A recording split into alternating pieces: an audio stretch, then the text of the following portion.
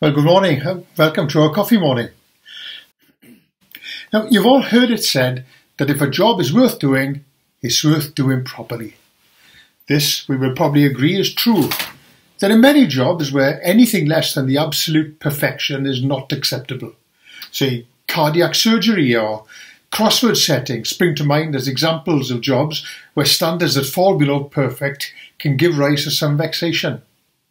You could probably think of many more.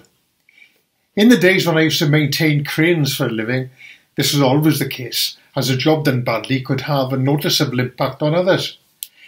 It is reassuring to see the lengths that people go to in learning uh, skills that produce standards of workmanship and expertise that causes the rest of us to gasp in admiration.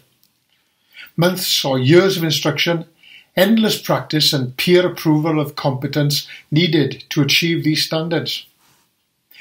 Which of us has not looked, stood back to admire a job that we have done ourselves, whether a particularly well-baked cake or tray of scones, a nicely painted window frame or garden fence? It may have been a job that you've been putting off for a while for lack of time or resources, but now it's done, and how good we feel about it. The cakes are beautiful by any standard, and the fence, well, it's still there, and it looks and it looks pretty good. Of course, you are not a professional baker or painter, and your work may not be quite up to the more exacting standards of the professional. After all, you have only to please yourself, while the pros do it for a living and expect to be paid and maybe win repeat business. Nevertheless, you can be pleased that you have done a good job as well as you possibly could. And anyway, your perfect particular skills are in a different field altogether, aren't they? Now, I expect many of us would admit to being something of a Philistine when it comes to jobs that don't really matter to anyone else. After many years of tying their own flies for fishing, very few of us can lay any claim on making beautiful examples. Indeed, they often veer from the inventor's design in size, materials, or even colour if they need to. His Coch-y-Bonddu sometimes may sport three turns of peacock herl instead of the usual four, and their Blue Zulus are nearly always too big, and all of them struggle for any consistency in the whip finish. Now I know this means very little to you, but fortunately it means very little to the trout either, because we still manage to catch a few.